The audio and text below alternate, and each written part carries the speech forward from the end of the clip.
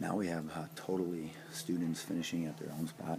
This young man gets it. He's on to his next problem. Some of these other people haven't quite gotten it yet, and they're able to go at their own speed. I have seen a couple people rewind it. But now they're going to attack this problem, which is letter B, um, when they get done with their video.